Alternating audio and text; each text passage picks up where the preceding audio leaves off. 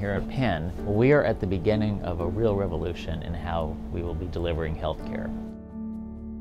At its most basic, precision medicine is really about treating the right patient at the right time with the right treatment.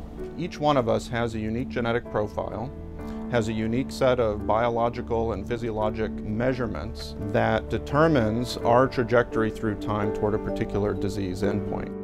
As a patient here, you will have access to the latest advances in precision medicine enabled by cutting-edge computational infrastructure and the latest research in biomedical informatics.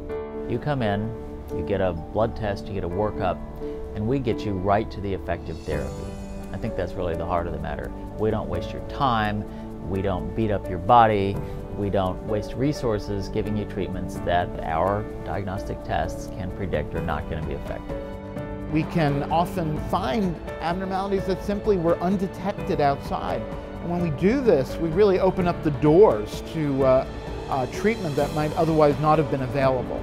It's not only the patient and optimizing care for the patient, but it's optimizing care for the family so that we're able to do genetic testing for other family members and figure out who's at risk of disease. One of the things that's happening in precision medicine is the diagnostic tools are so powerful that the diagnostic tools sometimes are ahead of what the available therapies are. But at Penn, we actually have the ability to act on the biology that we understand to develop the therapies um, of the future that are going to be active against those targets.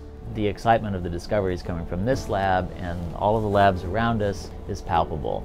And I think that's something you don't get at every medical center. There's really a benefit to doing this work in an academic medical center that has people who are committed, passionate, and unbelievably bright working on various problems that will impact medicine.